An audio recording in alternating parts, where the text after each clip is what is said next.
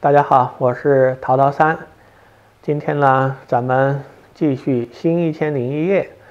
我们先回到比较轻松的美女话题。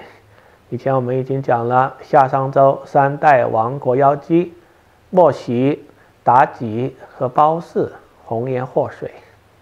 接着呢，我们讲了春秋四大美女文姜、西归、夏姬和西施，倾国倾城。而且在春秋时代，礼崩乐坏，儒家礼教也没有占统治地位。男女还很开放，对吧？所以有文姜、夏姬这样子的乱伦、男欢女爱故事。接下来呢，我们继续讲中国传统意义上四大古典美女：沉鱼落雁、闭月羞花。沉鱼又和春秋四大美女最后一位西施重合了，算是一个过渡。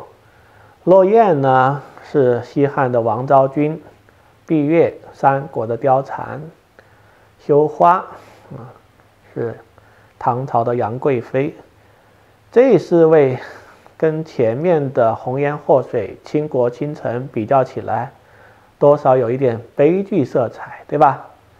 有一点红颜薄命的感觉。包括重合的西施。表面上看，西施呢，好像极尽吴王夫差的荣宠，给他造姑苏台、管娃宫、木屑廊。但是呢，他毕竟是越国的间谍，目的是要搞垮你，对吧？而且呢，民间传说他是范蠡的情人，那么他要牺牲爱情，承受内心的苦闷。付出自己的青春年华。我们再看西汉的王昭君呢，本来是汉宫第一美人儿，因为不愿意贿赂画工毛延寿，把她画得很丑啊。结果三四年时间都没有得到汉元帝的临幸，所以当匈奴单于啊呼韩邪单于过来求亲的时候呢。他就豁出去了，对吧？愿意远嫁匈奴。匈奴远到什么程度呢？匈奴王庭就说 啊，一种说法是在今天的蒙古国乌兰巴托，你想想那得多远啊，苦寒之地，对吧？所以这个牺牲是非常大的。我们再看三国的貂蝉啊，貂蝉拜月。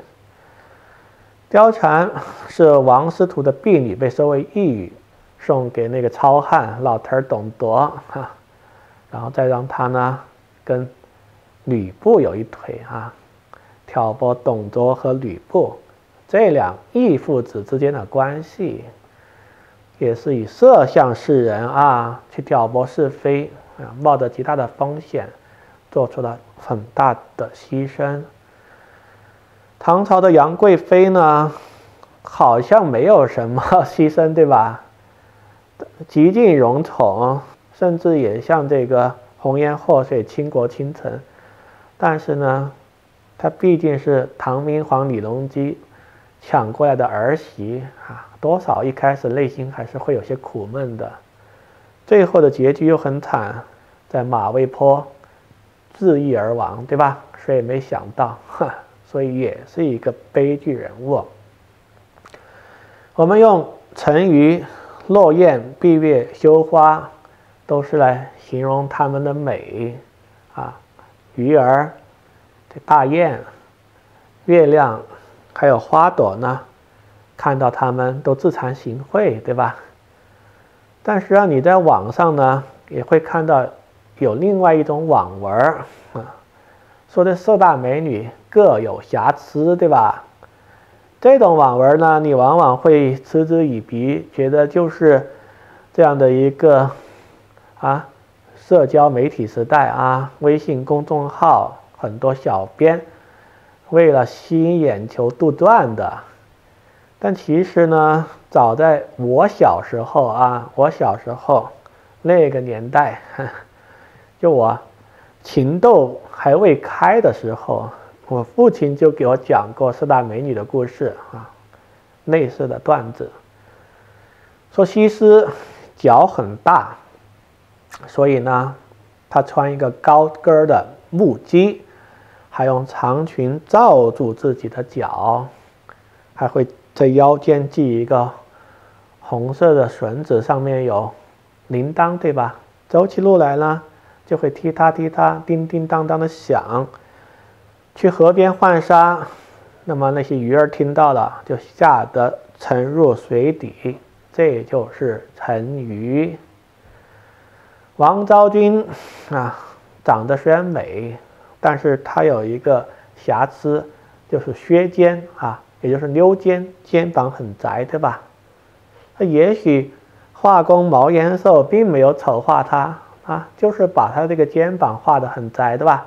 当然还有一种说法呢，说是在他的眼睛下画了一个内痣，通常呢说这种是一种克夫相啊，所以没有得到汉元帝的宠幸啊。但是那种说法呢，就是说他是削削肩，对吧？然后昭君出塞呢，你想到了塞外啊。都是大漠黄沙戈壁啊，多么悲苦！远离家乡故土，那么他就在马背上弹这个琵琶。你看马背上那得多陡啊，对吧？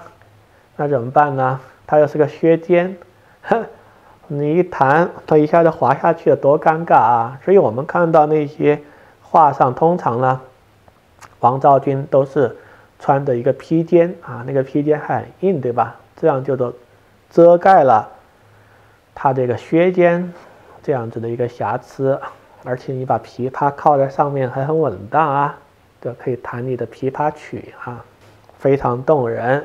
天上的大雁看到了哟，是吧？想不到下面那个美女啊，这两天好像看上去比我张开翅膀还漂亮，对吧？一下看出神了，忘记飞行落下来，这就是落雁。接下来我们再看三国的貂蝉，貂蝉拜月，对吧？连他的义父王允呢，看到月下的女儿貂蝉啊，那种美色，都为之动容啊。但是貂蝉她也有个瑕疵，就是耳朵有一点小啊，为此十分苦恼。也因为拜月的时候呢，看到月亮的圆润、皎洁、明亮，哈，受到启发。